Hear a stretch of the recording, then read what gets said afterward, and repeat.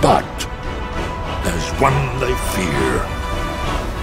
In their tongue, he's Dovahkiin, Dragonborn.